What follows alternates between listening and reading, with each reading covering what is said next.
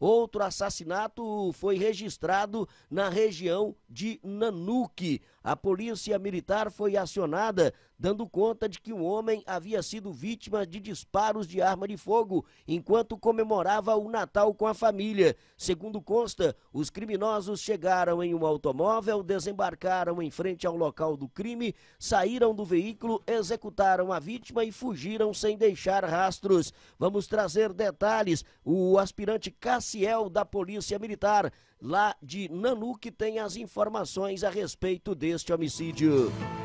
No dia 24 de dezembro, por volta das 21 horas e 25 minutos, a Polícia Militar foi acionada a comparecer na rua Muriaé, no centro de Nanuque, onde, segundo informações, havia ocorrido disparos de arma de fogo. Ao chegar ao local, a guarnição policial constatou uma pessoa deitada na posição de decúbito dorsal, eh, a qual estava com diversas perfurações de disparo de arma de fogo. Segundo informações, a vítima encontrava-se em comemoração de Natal com os familiares quando o indivíduo aproximou-se a pé e teria efetuado diversos disparos de arma de fogo contra a vítima. Ainda segundo informações, um segundo indivíduo teria desembarcado de um veículo HB20 branco e também efetuou mais disparos contra a vítima que já estava caída ao solo. Segundo relatos, os suspeitos embarcaram no veículo e conseguiram fugir do local. Há informações também que houve a participação de um terceiro indivíduo que estava dirigindo esse veículo HB20 branco. Neste momento foi realizado um intenso rastreamento para identificação e prisão dos autores, contudo, até o momento, estes ainda não foram localizados.